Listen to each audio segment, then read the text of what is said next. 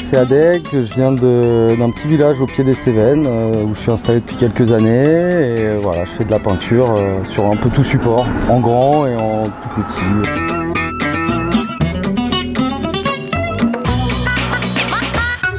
Sur cette fresque, c'est un peu ce que je décline depuis pas mal d'années, une thématique de la nature habitée avec l'idée d'une inversion de l'échelle, des tout petits humains qui viennent habiter soit une plante, soit un animal.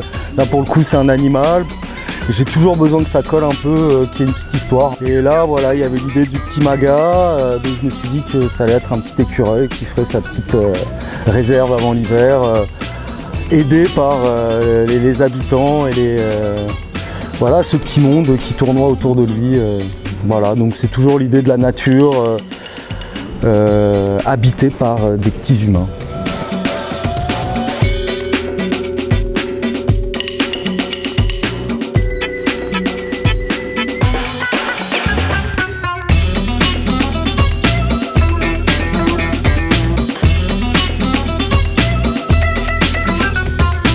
Moi, ça me fait trop plaisir de, revenir ici. Ça fait, des années que j'ai quitté la Belgique parce que j'ai habité quelques années.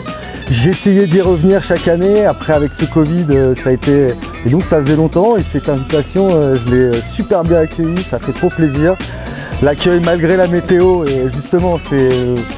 Le concept même de la Belgique pour moi, c'est malgré la météo, il y a vraiment de la chaleur dans les cœurs au niveau de toute la logistique et des gens qui interviennent autour du projet, c'est super cool quoi. Donc super accueil et en plus ça se clôture, ça va se finir avec le soleil donc on est bien. Voilà.